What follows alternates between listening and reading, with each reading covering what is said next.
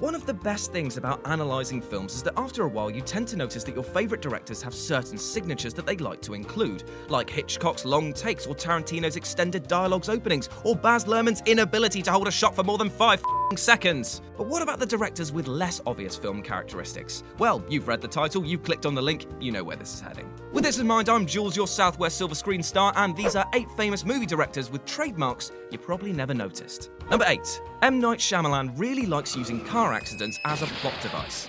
We all know that Shyamalan loves his late game twist, but did you know that he also loves a good car wreckage? He uses car accidents as plot devices in a lot of his films, and good examples can be found in The Sixth Sense, Signs, and Unbreakable. It's an easy vehicle, ha ha ha, to provide instant emotion from a scene, is an effective jump moment, and is also a good metaphor for his career around the time of the Avatar film.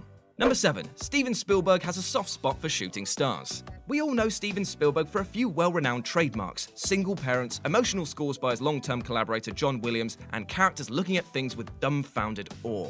But he also loves shooting stars. Rumour has it that this all stems from when one of the crew members captured a shooting star on the set of Jaws, and he loved it so much that he put it in Close Encounters of the Third Kind, Indiana Jones and the Temple of Doom, Saving Private Ryan, and even Tintin.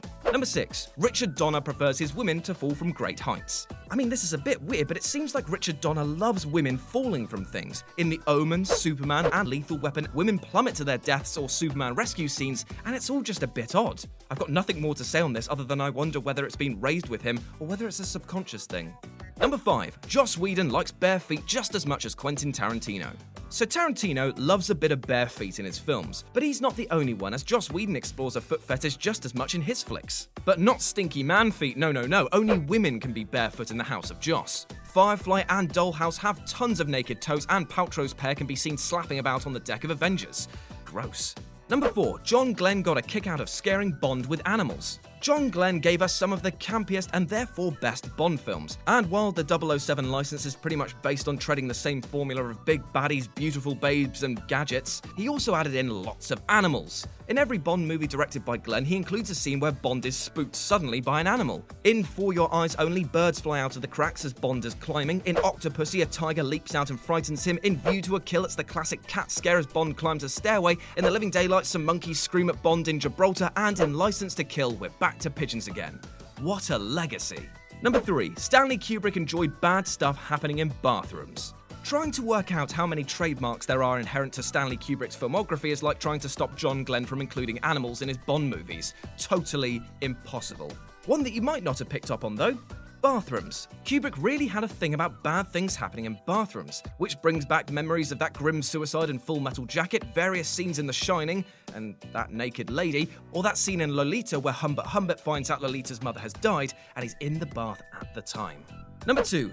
Sidney Lumet liked his movies shot in confined locations. Sidney Lumet is considered to be one of the greatest all time movie directors, a man whose pictures were crafted with unrivaled mastery, and many of which were famously set in a single or confined location. Lumet was the guy who made 12 Angry Men, which takes place in one room for the sum of 90 minutes and explodes off the screen with all the tension and claustrophobia you might associate with being a juror on a murder case. Remember Dog Day Afternoon? Well, that was a confined location set within a bank and the street outside. And then there's Murder on the Orient Express, which is about as confined a movie location as they come. Even his lesser known earlier movie, The Hill, which starred Sean Connery, took place entirely in a prison camp during World War II. And number one, Christopher Nolan is obsessed with dead women.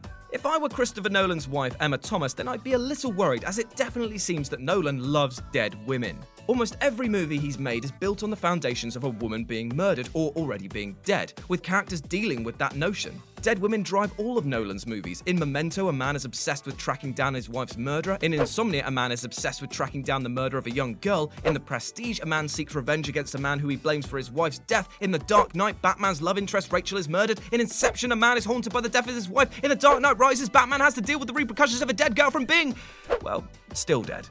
so yeah, if Thomas ends up going missing, we all know where to start with the investigations. No, not my house, you fool. Stay away from that cupboard! And that's our list. Got any more film directors with subtle on screen signatures that we've missed? Well, let me know about it in the comments section below. And why not swing by whatculture.com for more news and articles like this every goddamn day? As always, I've been Jules, and you can follow us here on Twitter or me personally at RetroJ with a zero, and I will speak to you soon.